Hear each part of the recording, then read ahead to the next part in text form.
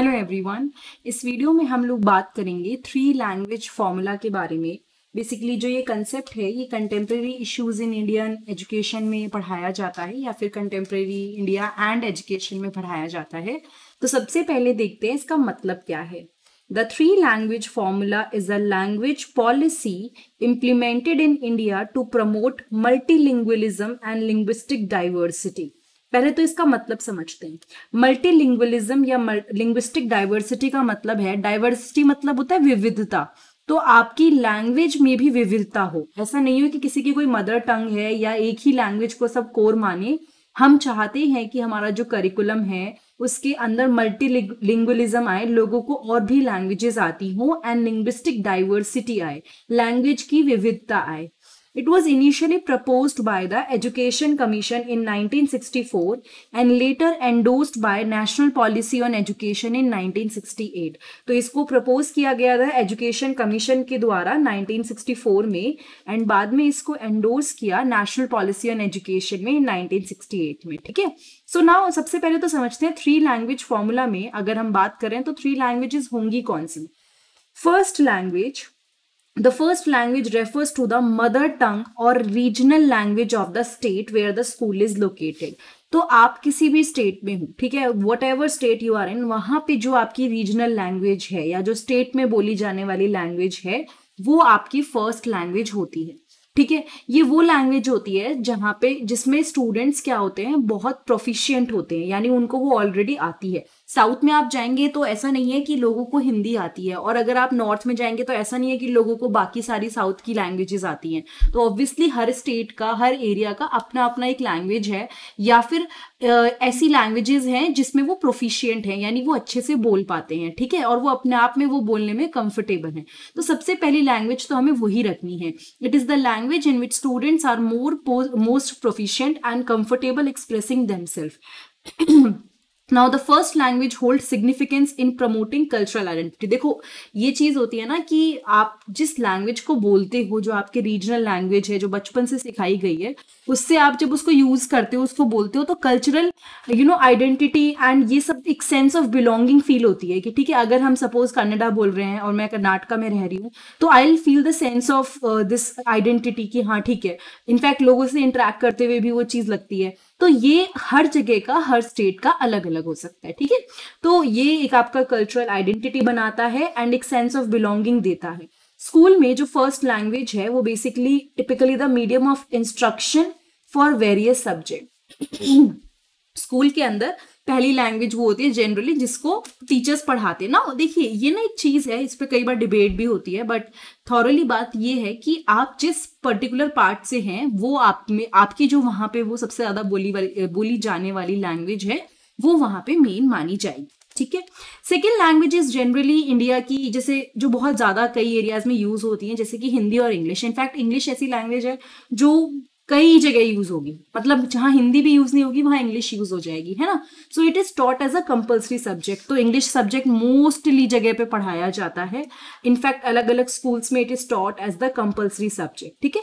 The choice of a second language depend on the state और region आपकी second language की choice क्या है, वो भी स्टेट या रीजन पे डिपेंड करता है और इट कैन वेरी ऐसा नहीं है कि फिक्स है कि हिंदी और इंग्लिश ही हुआ but it it is also related to the state और region for Hindi speaking state अगर कोई ऐसी स्टेट है जहाँ पे हिंदी बोली जा रही है तो वहाँ पर आपका क्या है ना इंग्लिश वहाँ पे आपका सेकेंड लैंग्वेज की तरह पढ़ाई जाएगी।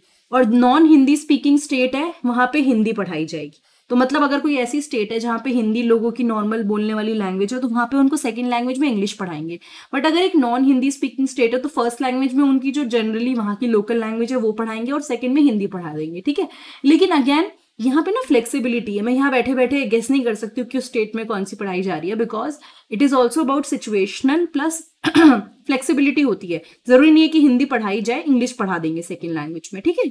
सो ये there is a flexibility in the choice of second language and state have the autonomy to determine the language based on their linguistic and cultural context तो स्टेट के पास ये ऑटोनॉमी होती है कि वो मतलब उस जगह पे कौन सी लैंग्वेज को यूज़ करना चाहते हैं। Then comes third language third language एक एडिशनल लैंग्वेज है, जो स्टूडेंट्स यूज़ करते हैं, जो वो अपनी फ़र्स्ट और सेकंड के साथ पढ़ सकते हैं बिकॉज़ नाम क्या है? थ्री लैंग्वेज फॉर्मूला तो आप फ़र्स्ट और सेकेंड के साथ इसको स्टडी कर सकते हो। The selection of a third language varies from state to state and is often based on the linguistic and cultural diversity of the region ना ये ना सब वेरी कर सकते हैं। मैं आपको एग्ज़ाम्पल देती हूँ। सपोज़ हम आ, मैं अगर सपोज़ नॉर्थ में पढ़ी हूँ ठीक है? एक एग्ज़ाम्पल देती हूँ। Suppose if I am teaching मतलब मैं हिंदी पढ़ रही हूँ। ठीक है तो हिंदी मेरी फ़र्स्ट लैंग्वेज हो गई सेकेंड लैंग्वेज मेरी इंग्लिश हो गई जिसमें उन्होंने मुझे इंग्लिश पढ़ाया। लेकिन आजकल स्कूल्स में आप देखते होंगे हर स्कूल में छोटी क्लासेस से बच्चों को फ्रेंच जर्मन संस्कृत ये और डिफरेंट डिफरेंट लैंग्वेजेस हैं जो पढ़ाना शुरू कर देते हैं है ना? तो थर्ड लैंग्वेज वो हो गई जो मेरी यहाँ पे मैंने फ्रेंच जर्मन या संस्कृत ऑप्ट करी।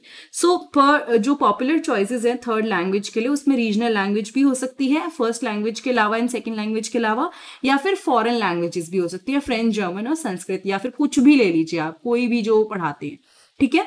सो अब नाउ एम क्या है थ्री लैंग्वेज फॉर्मूलाज का? The aim of the three language formula is to promote linguistic diversity जो एम है थ्री लैंग्वेज फॉर्मूला का, वो ये है कि हम लिंग्विस्टिक डाइवर्सिटी प्रमोट करना चाहते हैं। हम कल्चरल अंडरस्टैंडिंग यानी कि डिफरेंट कल्चर्स को लैंग्वेज को समझना चाहते हैं और एक नेशनल इंटीग्रेशन वाली फीलिंग आनी चाहिए। हमारी इंडिया इतनी मतलब बढ़िया इस मामले में है कि different different states and different different languages they are use so basically it's a whole हम इंडियन हैं but we have the diversity तो वो एक नेशनल इंटीग्रेशन वाली फीलिंग आती है. इनफैक्ट ये एक एनकरेज करता है कि जो भी आप जिस भी स्टेट से हैं, जो आपकी कॉमन लैंग्वेज है, आप उसमें प्रोफिशियंट हो एंड साथ के साथ आप जो नॉर्मली बोली जाने वाली लैंग्वेज है, उसमें प्रोफिशियंसी गेन करो. ठीक है? This approach help student develop communication skills इससे क्या होता है ना, बच्चों के अंदर कम्युनिकेशन स्किल्स अच्छे डेवलप होते हैं कॉग्निटिव एबिलिटी डेवलप होती है एंड इनफैक्ट वो बाकी कल्चर्स और लैंग्वेज को समझते भी ये तो एम हो गया। अब इम्प्लीमेंटेशन की तरफ़ चलते हैं। The implementation of the three language formula varies across states in India ये अलग अलग स्टेट में अलग अलग तरह से होता है। As the country is linguistically diverse with numerous regional languages देखो, एक चीज़ आप सब पे अप्लाई नहीं कर सकते हो। आप ये नहीं बोल सकते हो कि हिंदी पढ़ाया जाएगा या इंग्लिश पढ़ाया जाएगा। Because they are so many states in सबकी रीजनल लैंग्वेजेस अलग अलग हैं तो ऑब्वियसली आपको डाइवर्सिटी और कल्चर की रिस्पेक्ट करनी है हर जगह पे स्टेट्स के according they have their own policies जो कई बार थ्री लैंग्वेज फॉर्मूला से बियॉन्ड जाती है। ठीक है? तो उसमें वो एक्स्ट्रा एडिशनल रीजनल लैंग्वेज को भी इंक्लूड कर लेते हैं। तो यहाँ पे हमारा गोल ये नहीं है कि हमें अपनी कोई लैंग्वेज को वो है कि नहीं, हमारी रीजनल लैंग्वेज है तो हमें वो कर रहे हैं। नहीं the goal is basically to create a balanced language education system कि आप एक proper balanced language system create करो, जो लिंग्विस्टिक डाइवर्सिटी को रेस्पेक्ट करे। हमारा एट द एंड गोल ये है कि हम समझें कि हम एक ऐसे देश में पैदा हुए हैं जहाँ पे बहुत सारी लैंग्वेजेस हैं and we need to respect all those languages no matter what और कोई ऑफिशियल लैंग्वेज नहीं है, ठीक है? So this is one of the thing no advantages अगर मैं बोलूँ advantages of implementing the three language formula सबसे पहली बात तो वो जो इतनी बार आपने वर्ड सुनी लिया लैंग्वेज सॉरी लिंग्विस्टिक डाइवर्सिटी तो जब आप थ्री लैंग्वेज फॉर्मूला प्रमोट करते हो ना तो उससे लिंग्विस्टिक डाइवर्सिटी प्रमोट होता है, क्योंकि लोगों को अपने पता है कि भाई मेरी पर्सनल जो बोली जाने वाली लैंग्वेज है सेकेंड लैंग्वेज और थर्ड लैंग्वेज सारी लैंग्वेज हम बोलेंगे और एक तरह से वो विविधता आएगी। साथ के साथ ये भी एक्नॉलेज करता है कि रीजनल लैंग्वेजेस कितनी इंपॉर्टेंट हैं एंड ये कल्चरल आइडेंटिटी को प्रिजर्व करता है हेरिटेज को प्रिजर्व करता है। एंड साथ के साथ जब आप एनकरेज करते हो कि मल्टीपल लैंग्वेजेस पढ़नी है तो इससे ये श्योर होता है कि बच्चों के बीच में ना एक स्ट्रांग कनेक्शन रहे। ये, मैं ये लैंग्वेज बोलता हूँ, लेकिन मैं ये सीख रहा हूँ और मैं ये भी बोलूँगा। तो ये स्ट्रांग कनेक्शन बनता है। डाइवर्सिटी अपने आप यहाँ पे फॉर्म होती है एंड कल्चरल प्रिजर्वेशन होता है। मल्टी लैंग्वेजम मतलब बहुत सारी लैंग्वेज आपको आना। आप खुद सोचो, अगर आपको तीन लैंग्वेजेस आती हैं, या चार लैंग्वेजेस आती हैं सो इट्स समथिंग जो आपको मतलब खुद आपको अच्छा लगेगा सोच के कि हाँ यार मेरे को तो ये लैंग्वेज आती है। सो so, एक अगर आप मल्टीपल लैंग्वेजेस यू नो सीख रहे हो तो कहीं ना कहीं आपकी लिंग्विस्टिक एबिलिटी लैंग्वेज बोलने की एबिलिटी सुधर रही है आपकी कम्युनिकेशन स्किल सुधर रहे हैं। आप अच्छे से इफेक्टिवली कम्युनिकेट कर सकते हो लोगों के साथ जो अलग लिंग्विस्टिक बैकग्राउंड्स के हैं लेकिन आप ही की कंट्री में है या बाहर की कंट्री में है ठीक है? प्रोफिशिएंसी आती है क्योंकि आपको पता है कि अगर आपको ये लैंग्वेज आती है तो कहीं ना कहीं आप वहाँ पे बात कर पाओगे इस बारे में है ना? फिर आता है national integration and unity three language formula क्या करता है? फॉस्टर करता है एक सेंस ऑफ़ नेशनल इंटीग्रेशन कि हाँ मैंने आपको बताया ना कि suppose if I speak Hindi if I speak English और मुझे अगर एक और एडिशनल लैंग्वेज आती है तो सबको ना ये एक, एक आपको यूनिटी की फीलिंग देता है। मतलब अगर आपको पता है कि आपको दो तीन लैंग्वेज आती है आप इस कंट्री के यू you नो know, एक सिटीजन uh, है तो it will give you a sense of integration उसके साथ साथ अगर आप स्टडी करोगे इंडियन लैंग्वेजेस को कोई भी लैंग्वेजेस को बेसिकली तो वहाँ पे क्या होगा ना आपकी कम्युनिकेशन अच्छी होगी और इंडिविजुअल्स में आपस में जो बात करना है वो सब इम्प्रूव होगा। This common language proficiency help bridge cultural and linguistic gap तो ये जो कॉमन लैंग्वेज प्रोफिशियंसी है ना इससे जो कल्चरल और लिंग्विस्टिक गैप्स हैं वो फिल हो जाते हैं। ठीक है? एंड नेशनल कोहेशन जो होता है, जिसे कहना चाहिए, वो काफ़ी हद तक एक, जिसे कहते हैं ना कि एक साथ में आ जाती हैं चीज़ें, ठीक है? साथ में एग्ज़ाम्पल बहुत सिंपल है, अगर आपको मल्टीपल लैंग्वेजेस आती है, ठीक है? Imagine the situation you know French German और चाइनीज़ आपके लिए definitely there will be more career opportunities than a person who knows any of these language जिसको नहीं आती सॉरी तो आपको ना कहीं ना कहीं वो स्कोप मिलेगा, कहीं ना कहीं बहुत सारी there job opportunities because you know the you know language तो आपके लिए थोड़ा ईजी हो जाता है। In today's globalised world proficiency in multiple language is highly valued आजकल काफ़ी ज़्यादा माना जाता है कि if you know English if you know other languages तो मतलब थोड़ा सा ये माना जाता है कि आप कम्युनिकेशन अच्छा कर पाओगे। अगर आपका यू you नो know, जो भी काम है वो बाहर से रिलेटेड है इनफैक्ट कहीं से भी रिलेटेड है। सो थ्री लैंग्वेज फॉर्मूला का एक और गोल ये है कि बच्चों के लिए फ्यूचर में फ़ायदा हो ठीक है? एक स्ट्रॉन्ग फाउंडेशन जब डेवलप होता है ना उनका अलग अलग लैंग्वेज के हेल्प से तो उनके लिए जॉब खुल जाती है ट्रांसलेशन की फ़ील्ड में इंटरप्रिटेशन की फ़ील्ड में टूरिज़्म की फ़ील्ड में डिप्लोमेसी की फ़ील्ड में international business and other field तो इन सब में ना उनके लिए स्कोप अपने आप बढ़ जाता है, ठीक है? Then comes cognitive development and academic performance learning multiple languages सिर्फ़ बच्चों की या लोगों की कॉग्निटिव एबिलिटीज बेटर होती हैं, जैसे कि problem solving skills critical thinking skills creativity and साथ के साथ ब्रेन का डेवलपमेंट भी होता है एंड मेमोरी एंड कंसंट्रेशन बढ़ता है। रिसर्च ये सजेस्ट करती है कि बायलिंगुअल और multilingual individuals often have better academic performance and cognitive flexibility compare to monolingual individual तो कई रिसर्चेज ऐसी हुई हैं जिसमें ये पाया गया कि एक पर्सन है जो दो तीन लैंग्वेज बोलता है और एक पर्सन है जो सिर्फ़ एक लैंग्वेज बोलता है it is just a research तो उसका थोड़ा सा जो यू you नो know, जिसे कहना चाहिए कॉग्नेटिव या सोचने का तरीका कंसेंट्रेशन बेटर है इस बी पर्सन से. Now appreciation of cultural diversity आप हमेशा इस चीज़ को याद रखिएगा अगर आप खुद किसी को बताएँगे और मैं अगर आप ए इंडियन इस वीडियो को देख रहे हैं या किसी भी कंट्री से देख रहे हैं तो अगर आपकी कंट्री में बहुत सारी लैंग्वेज बोली जाती है ना, या आपको दो तीन लैंग्वेज आती है तो अपने आप में यू फील दैट कनेक्शन कि हाँ मेरे को ये चीज़ भी आती है। तो आप किसी ऐसा लेफ़्ट आउट फील नहीं करते, है ना? सो एक basically it appreciate it you know एक कल्टिवेट कि हमें कल्चरल डाइवर्सिटी हाँ भाई, मेरी कंट्री में बहुत सारी लैंग्वेजेस हैं, कुछ मुझे आती हैं। तो ये एक अपने आप में ना कल्चरल डाइवर्सिटी के लिए अप्रिसिएशन बढ़ाता है, ठीक है? एंड इनफैक्ट आप जब अलग अलग लैंग्वेजेस बोलते हो। सपोज़ आप किसी नॉर्मल uh, किसी भी रीजनल लैंग्वेज को बोल पा रहे हो तो you will feel connected to that culture तो आपको भी लगेगा कि हाँ मैं उस पर्टिकुलर जगह से कनेक्टेड हूँ। Then personal and social benefits तो होते ही हैं ऑब्वियसली आप किसी से बात कर सकते हो।